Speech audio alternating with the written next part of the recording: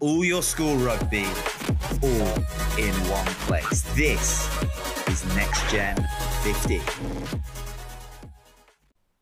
Hello and welcome to this latest video from NextGenXV. You can also just listen to this on audio if you like. I'm Angus Savage and we're going to be talking today about the final weekend of schools rugby and under 18 rugby across England uh, as we came to the end of this uh, this awesome little sort of month long, five week long period of being able to enjoy the game again. Uh, before we get cracking on with that, though, can I please remind you to subscribe and to hit that notification bell? That way, whenever we have any new video content, you'll be alerted about it. Uh, and if you could hit like and uh, and drop a comment in as well, that'd be massive for us. It just gets us in front of more people, which means that we can keep producing the sort of content that we hope you enjoy, and keep promoting and pushing the school game. That's enough of that business and all the rest of it, though. Uh, let's get cracking with the rugby. Friday was the big day. It was when most of the games were going on.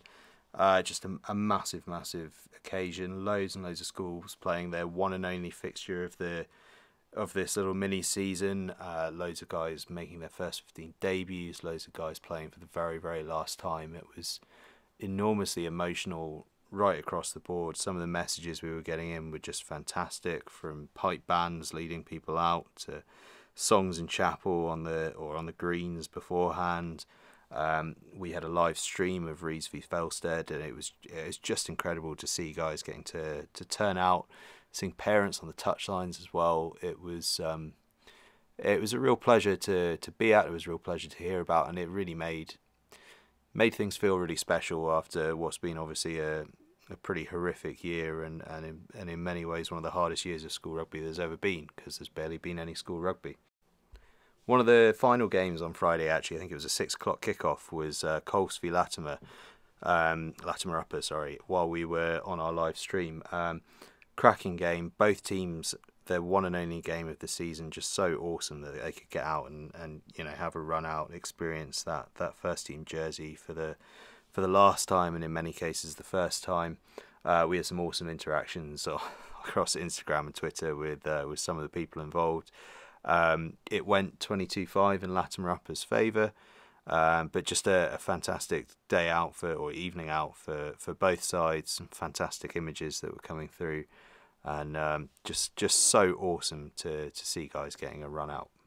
We then headed to two sides that have actually played a decent amount of rugby in this this little shortened season. Uh, Gordon's and the Oratory. Um, 22-12 to, to the Oratory, but but again, just the occasion was everything with this. Uh, the Gordon's pipe band piped the teams onto the field. Uh, it's just an amazing atmosphere.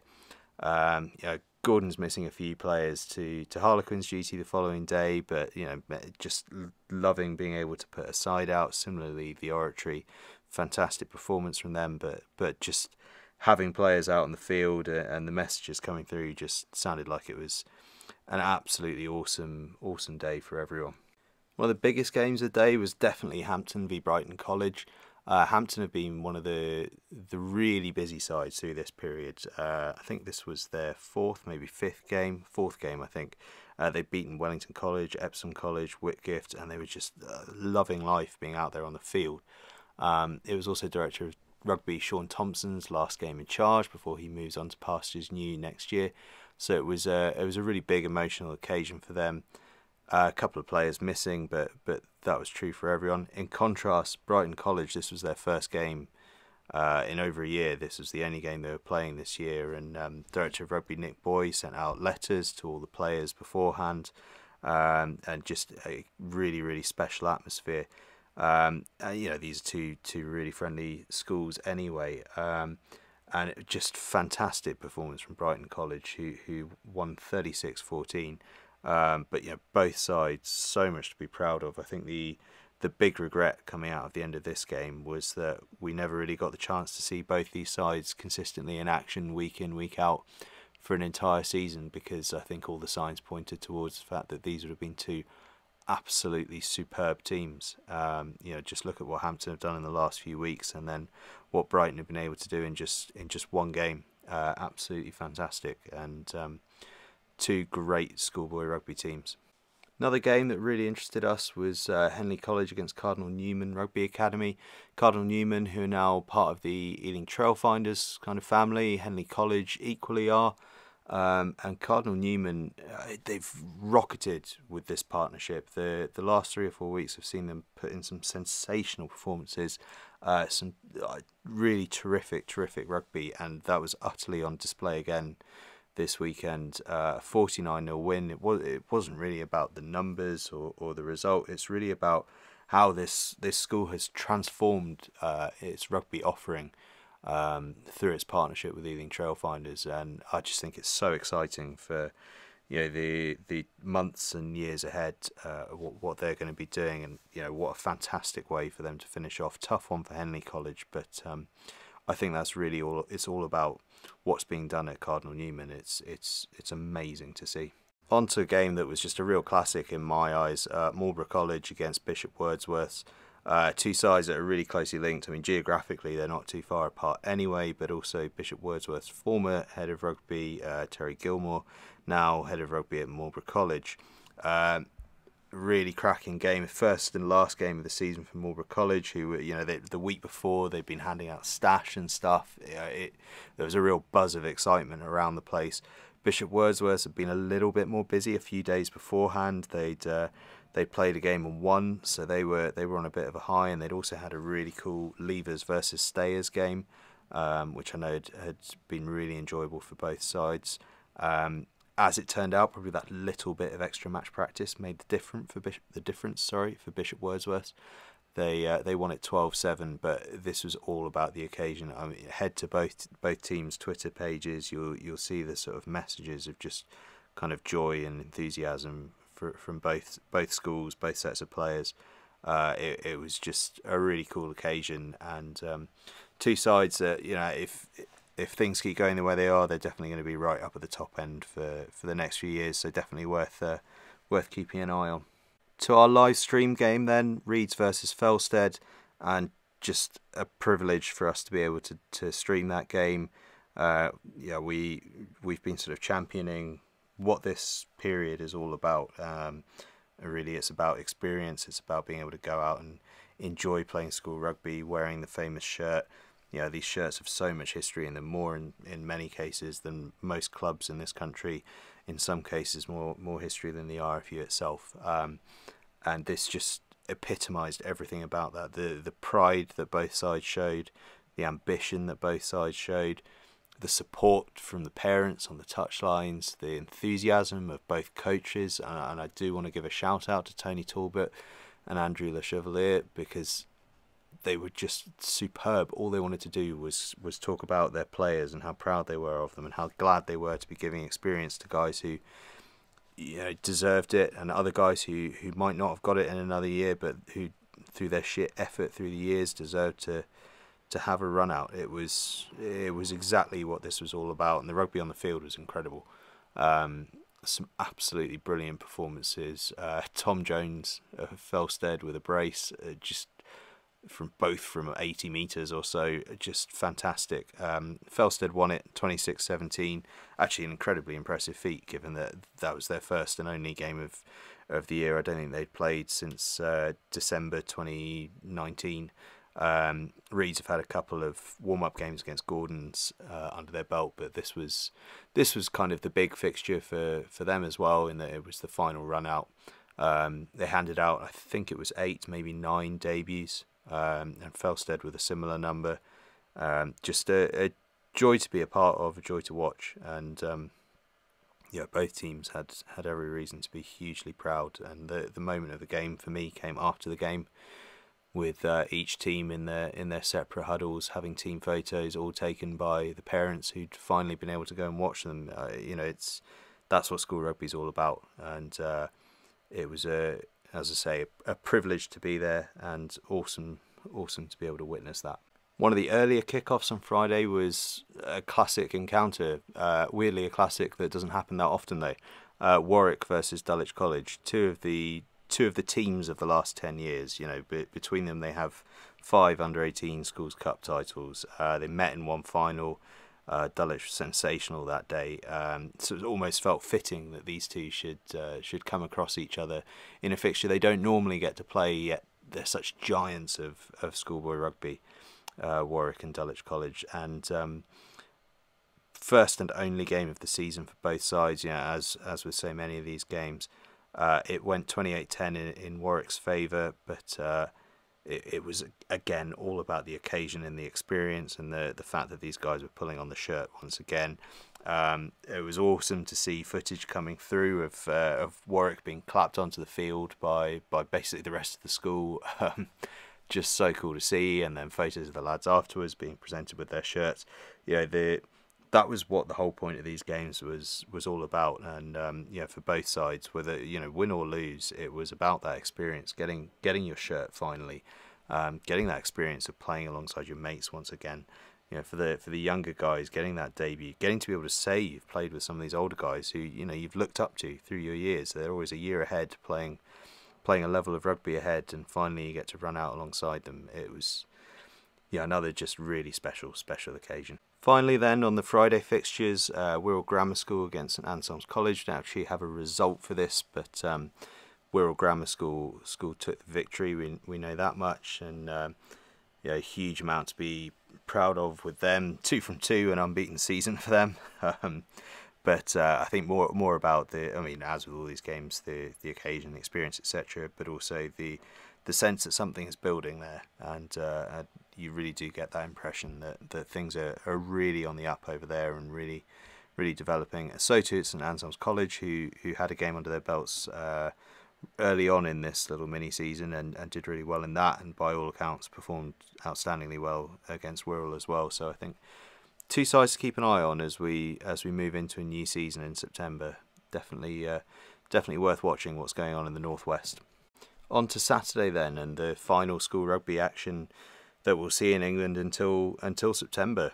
Um, all happened down at Esher RFC, a festival between Epsom College, Millfield, Sedbergh, and Whitgift. Uh, four of the top teams in the country and four teams that that went hell for leather over the course of Saturday in, in just an epic, epic afternoon. Um, six really, really close games. Uh, the whole thing could have gone any way. Uh, but I think it's important to talk about the, the backdrop of this and kind of the circumstances in which it was played in, where sort of within a, a week prior to, to the game, um, sadly uh, came to light that Sedbergh old boy Henry Foster had uh, had sadly passed away uh, in America. Um, Henry was part of the treble winning Sedbergh side of uh, 2018. The um, Daily Mail Trophy winners, the Rosslyn Park um, HSBC National School Sevens winners, and uh, the Sedbergh Tens winners. Um, you know, a historical uh, three-peat there. But the um, yeah, it was it was a tough week for everyone, uh, for anyone that had, seen Henry play, for anyone who'd who'd come across him, and, and particularly obviously for his family, his friends, and the and the entire Sedbergh community. Um, so it was on a sad backdrop that this uh, this tournament began, but it played out um, exactly how I think we would all imagine Henry would have liked to, with a huge amount of fun, huge amount of spirit, and uh, four teams just giving it absolutely everything. Um, and if we focus in on the rugby, uh, it was an epic day, um, absolutely epic day. Um, it was won in the end by Millfield, but they won it by a single point on points scored. Uh, it all boiled down to the very last game of the day where they were facing Epsom College, um, and basically Millfield and Whitgift um, had drawn seven all in their fixture, uh, and Whitgift had already beaten Epsom College and then beat Sedbergh 17-12 uh, in the penultimate game of of the whole thing. Millfield, meanwhile, had uh, obviously had that draw against against Whitgift. They'd then beaten Sedbergh eight seven, uh, a late try being disallowed for Sedbergh, so just just sneaking that win Millfield. Uh, so it all came to a head for them uh, heading into that last game. They they knew what they needed to do. Whitgift had already set the points total that needed to be hit. Uh, so all Millfield had to do was make sure that first and foremost they beat Epsom College. Uh, and then to make sure that they scored 22 points or more. And they did it exactly. they scored 22 points. Uh, 22 points to 15 as it was in the end, and uh, took took the title by by one point on points scored. Uh, so fantastic effort from Millfield. Um, but the very fact that the, the point scored was the measure um, that was being used uh, tells you everything you need to know about the spirit of this competition. It was all about getting across the whitewash, and uh, we saw some fantastic rugby. Um, length of the field, intercepts, like proper gambles and stuff. Really fantastic rugby. Um, yeah, we're going to have a pretty detailed report coming out on it soon. Our man Peter Crawshaw was was there to witness the whole thing from start to finish, and um, just a, an epic, epic day. Uh, exactly what this whole whole thing has all been about. Just getting out there, having some fun, playing rugby. You know, it was great to see after the game. You know, what socializing can be done, being done between the four teams afterwards. Um, it was just just awesome, and everything that that rugby is all about, everything that schoolboy rugby is was all about. Um, yeah, fantastic from Millfield, but um, fantastic from from all four sides, and uh, I think all four definitely did Henry Foster proud. So if we just take a moment to reflect really on the the last five weeks of school rugby and what it's been like, what it's meant, um, you know, th- there was a long, long time where we thought there would be no rugby until September 2021. Um, so on a personal level, that was uh, that was a daunting prospect. You know, we we've we've gone the best part of a year without really being able to work. So that's it's been tough for us. It's been tough for players. It's been tough for schools. It's been been tough for families. You know, it's it's not been easy for anyone, and uh, it felt like a real dose of normality, of uh, of excitement, and um, just of something to be proud of. Finally, in in seeing people get out there and, and playing, and and pride really was the word that always kept coming to mind whenever we watched a game, whenever we we live streamed a game, whenever we were involved in any capacity. Um, seeing how much pride each player had in, in being able to play with their mates, in being able to pull on their shirt one more time, in being able to represent the school, represent themselves, represent their families.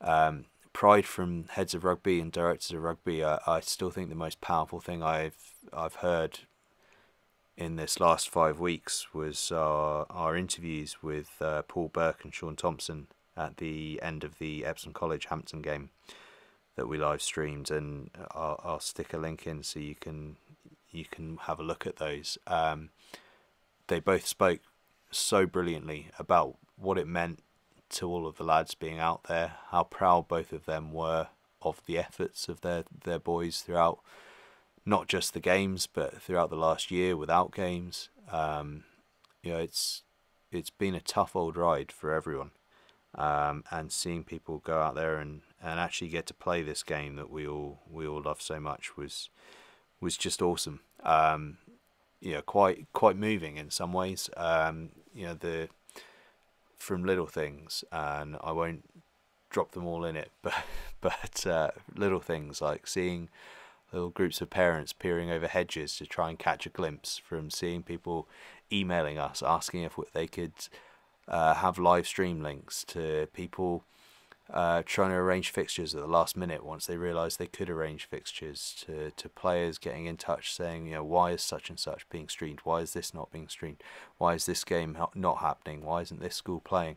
And it wasn't complaints. It was people with genuine enthusiasm wanting to be a part of it. And uh, it, it's it's been heartwarming to see that level of enthusiasm for school rugby. Um, and and long may it continue um, and I think that's the takeaway from this five weeks. It's been an epic period uh, just to witness the essence of what school rugby is. You know, most years we all end up getting caught up in saying the right things, doing the right things, talking about development, keeping players in the game, that kind of stuff. And yeah, that's all obviously important. But sometimes it means that we forget to really talk about and express what matters in school sport, which is that it's about the players having fun, the players having pride in what they do, um, enjoying it, remembering it forever. You know, if if I also play hockey and cricket and tennis and who knows what else, it's not a reflection on the school whether or not I keep playing rugby later or whether this is as good as the rugby ever gets because there are so many other options available to me and we only have so many hours in a day as we move into adult life. Uh, but what is a reflection on the school and the coaching is how much I enjoyed my time there, how proud I felt to pull on that shirt, whether I remember pulling on that shirt when I'm an adult, whether whether those memories are, are special to me, treasured. That's what it's all about, and that certainly to me, and I think to a lot of people, is what is special about schoolboy rugby and what makes a schoolboy rugby program special. It's that. We saw it in abundance over the last five weeks. It's been awesome. Of course, what we've also had over the last four or five weeks has been the um, under 18 academy games, um, or I think it's still been called the under 18 academy league actually, despite the fact that it's it's not been a league format. And uh, I actually want to clear something up before we kind of get stuck into to what's been happening there this weekend, because uh, it was pointed out to us um, that we've we've possibly come across uh, overly negative about the under 18 academy uh, sort of games and stuff over the over the last month or so, which uh, has been far from our intention. I think the um, the impression is that we've we've probably made it seem as though academies are, are stealing players away from schools. Um, really, our, what our point has has been is that it's unfortunate that uh, the window that was created for for playing. Uh, was kind of just thrown at both academies and schools, and, and it was left to them to negotiate with one another uh, who had access to players when. Um, this is both both academies and schools have been put in a in a difficult and somewhat unfair position as a result of that. Uh, so really, our our our point has been that, as quite often perhaps happens in in under eighteen rugby um, in England, that uh, people are people are forced into a situation where they they end up having to make quite difficult compromise calls between one another um, because of decisions made elsewhere. And that's that's not on the academies, it's not on schools either. Um, there's been some tremendous rugby on both fronts, and there's been a tremendous amount of pride in being able to put, pull the shirts on on both fronts. Uh, so we do want to definitely make clear that we've we've loved the academy action and. Uh, yeah, there has been some epic action, uh, and it's been really cool for guys to be able to pull on that shirt. Yeah, whether they're it's one last time and it's the the pinnacle of their of their rugby career really, or for other guys where it's a last chance to pull it on before before going on to to professional honours over the course of the summer, and for other guys, you know, the under 17s and whatnot, an inkling into what's to come this time next year or this time in six months, I suppose, more likely. Uh, that's really what it's been all about, and it's been it's been brilliant to witness.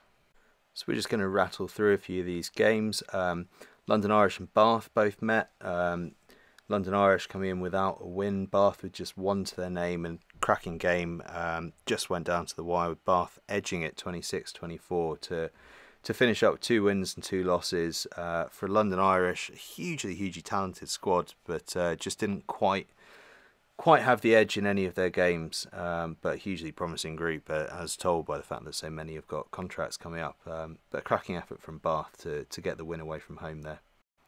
Another cracking game we had uh, at Aylesbury RFC. It was Wasps 29, Sale Sharks 19. Um, two sides that uh, came in with records that weren't the best, but had been in really tight games. They've been really close. Sale had lost uh, two of their three games going into this, Wasps hadn't hadn't picked up a win yet, but um, they managed to pick one up in this in this final game and uh, and thoroughly deserved it. They they were outstanding uh, by all accounts at Aylesbury. Um, but great great to see both sides managing to to come away with a positive result um, when all said and done. So um, two two top sides and uh, plenty plenty of exciting talent coming through from both up at Kingston Park, we had two teams who've been awesome throughout this period. Newcastle Falcons have, have been outstanding, um, only dropping one game against Yorkshire Academy when they rested a whole bunch of guys who are going to be going on to professional honours next year. Um, hosting Leicester Tigers, who obviously won the tournament back to back in 2018 and 2019, uh, and then shared it with London Irish last year. Uh, Newcastle, though, just barnstorming performance to win 43 29. Um, it's been an awesome campaign from Newcastle, and we've really, really enjoyed what following what they're doing on social media and stuff as well. They've made a real thing of um, creating a sort of mentality that, that this is your last chance, your last opportunity to, to just go out and, and play and enjoy yourself uh, in that famous shirt um, you know, creating um, team videos to the with the Last Dance soundtrack in the in the background and stuff. It's been it's been really cool and um, really fitting that they should should end with such an awesome. At Sixways, um, Worcester Warriors and Bristol Bears went head to head. Two sides that have found it going a little tough throughout this um, this campaign. Um, kind of surprisingly, because both have, have some epic epic players, but you know, I guess in each and every game, some someone's got to come out on the wrong side. Uh, on this occasion, it was it was Worcester Warriors, a, a cracking effort from Bristol Bears in the final final game of the season for them, um, taking the victory 26-5, and uh, a really promising group with some players to to definitely keep a big eye on in the future. Um, true for both sides, and uh, really looking forward to seeing how they go next year as well. The final game of the weekend came on Sunday when Yorkshire Academy hosted Northampton Saints uh, two sides have been epic on, on social media, just in terms of promoting the fact that their young players are getting a chance.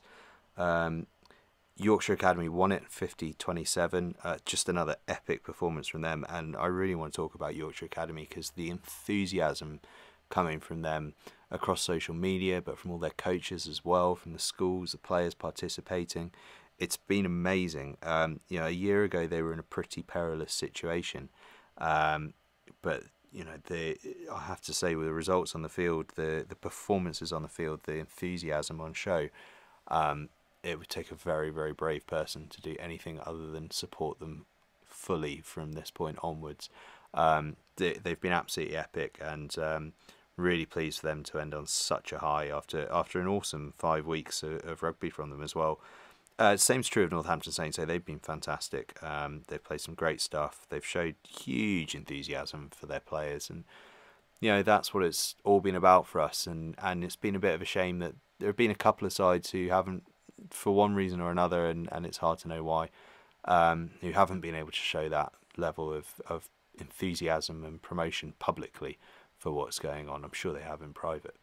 Um, but these two have been at the forefront of just pushing what an epic job these young guys are doing and how you know how great it is to have them out playing.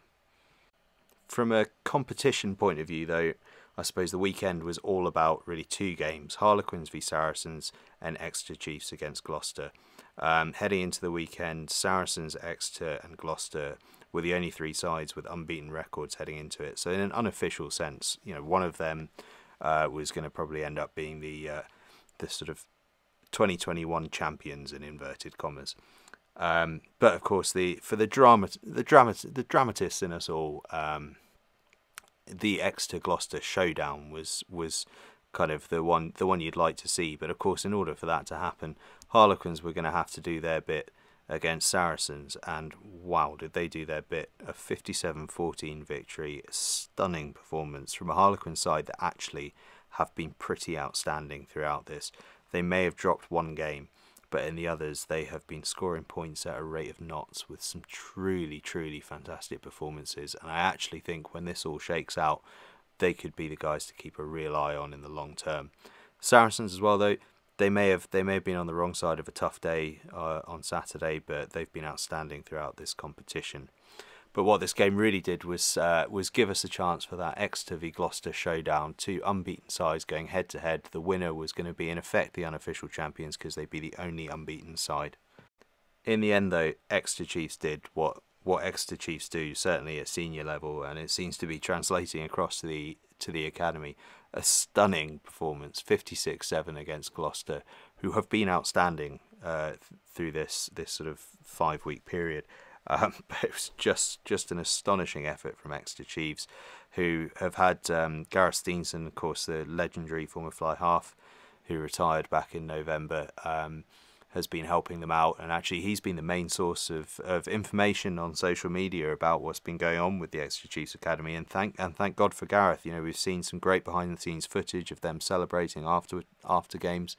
Um, and it's just been a fantastic series of performances from Exeter. The only downside being so little has been known about what what's been going on, but clearly uh, a group of players to to keep a massive eye on uh, as things go on, uh, and they go through the season unbeaten. So what we've done is create a bit of an unofficial table, um, just collating all those all those results, and uh, we've sort of ranked the teams according to uh, wins versus losses, and then where that is equal, we've uh, we've done it by points difference. So out on top, obviously Exeter Chiefs, followed by Harlequins, who've just racked up serious numbers of points. Fantastic season. Uh, Newcastle Falcons and the Yorkshire Academy in third and fourth both have been outstanding uh, and particularly brilliant in terms of sharing um, what's been going on and giving real, really good profile for all their players. Um, followed by Gloucester and Saracens, the other two teams with, with three wins and two great seasons from both of them as well. Uh, we then move on to the sides with sort of even seasons, two wins, two losses. Leicester Tigers, Northampton Saints, and Bath. Um, Leicester Tigers been really close actually. They could have they could easily have got to four from four. Uh, really tight games for them. Uh, in tenth, then we had Bristol Bears, followed by Sale Sharks and Wasps, with the teams with just the one win. And then in 13th and 14th, London Irish and Worcester Warriors, who sadly didn't manage to, to pick up a victory. Um, but of course, this is just our unofficial little ranking, but uh, it gives you a flavour of what the season has looked like in its uh, its truncated format. But of course, not everyone has played everyone. Things have been a bit geographical, etc. So it's uh, very, very much unofficial, but uh, certainly huge congratulations to Exeter Chiefs. Now, this uh, weekend, we also saw an under 20 international as England and Wales took each other on. Um, again, like a like all the under 20 internationals through this period, it was an unofficial game, a training game, etc. Um, the RFU have been talking about it a little bit on their website today, um, just with some quotes from, from Alan Dickens, the head coach, about kind of what they've been up to, etc. And um, sounds as though they had a training session from Eddie Jones and his coaching staff, um, which I'm sure gave the players huge, huge motivation. Um, but it was it was following on from two warm up games for England against uh, against Scotland up in up in Newcastle in the previous two weeks, um, and and now they faced Wales. Uh, Wales who were a little more under practiced uh, than England. Um, but uh, yeah, so not, not a huge amount known about this one, but um, we're we're going to be finding out plenty more as as things move towards the Six Nations later on this month. Um, conversations with all the relevant unions, and uh, it's going to be a full program of of information, and uh, it, it should be really awesome to to follow and keep up to speed with. To the game itself, it ended up 41-5 in England's favour. Um, probably not that surprising given the, the amount of practice that England have had relative to, to Wales. Um, but certainly a very promising sign for England. You know, that's two of the two of the five opponents that they'll face in the Six Nations uh, that they've beaten quite handsomely. Um, so I suspect they'll be they'll be very pleased with that. Um, you know, obviously yet to, or certainly yet to publicly announce the the squad for that. So I'm sure a lot of the players involved were playing hard for their places in the team. And if you if you look at the team sheet there, it's uh, it's a pretty epic team, uh, and there's a number of number of players who uh, who weren't playing that certainly are likely to be in the squad, um, and who've been playing an awful lot for their Premiership clubs this season. So things are looking up for England under 20 heading into the Six Nations, that's for sure.